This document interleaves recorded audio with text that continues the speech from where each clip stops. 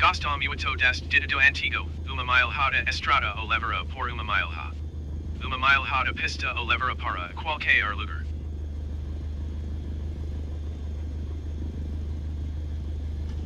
Não é difícil decolar, mas existem alguns pontos-chave que você precisa memorizar.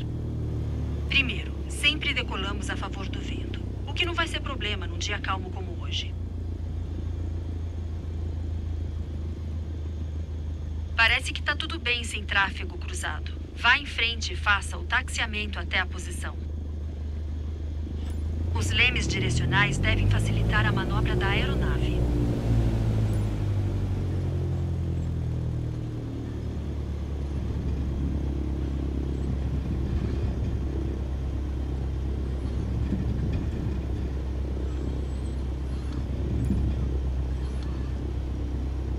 Ok, vamos lá. Aplique potência total. Vou orientar você no processo de decolagem enquanto continuamos. Use o seu leme direcional para permanecer na linha central e continue aplicando potência até atingir 55 nós.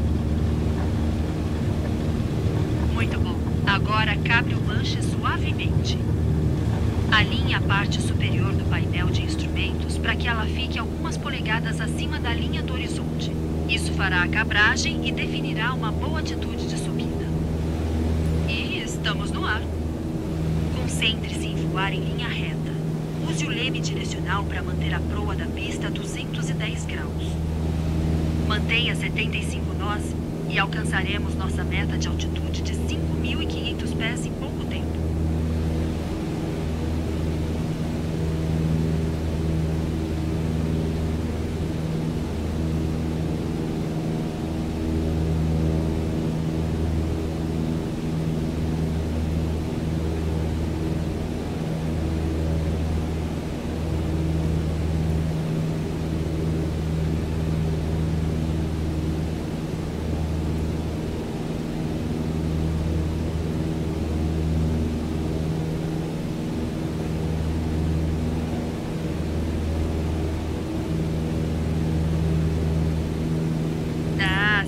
5.500 pés. Uma altitude agradável e segura para a segunda parte da nossa lição. Vou direto e nivelado. O primeiro passo aqui é ajustar nossa atitude. Estamos em uma atitude de subida, aplicando potência máxima. Para nivelar nossa altitude alvo, vamos começar diminuindo o manete de potência de volta para 1.800 RPMs.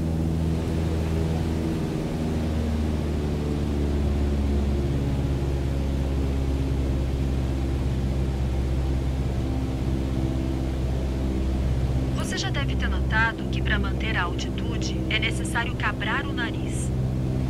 Você poderia continuar cabrando o manche para se manter firme, mas na verdade esse não é o meio de controle preciso.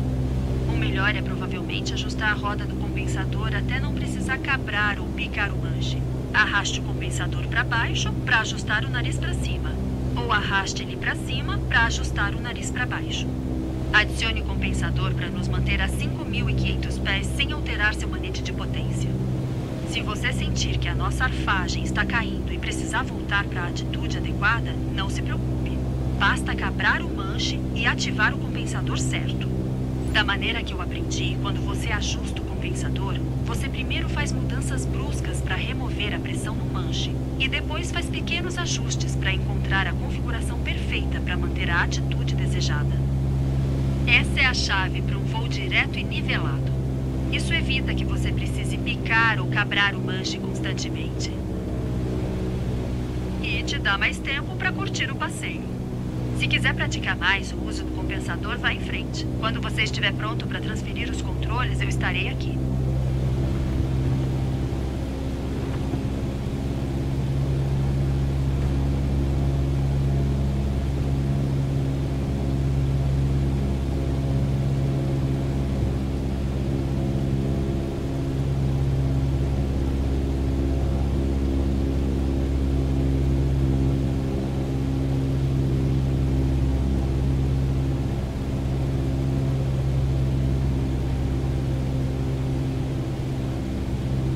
Ok, eu assumi o controle.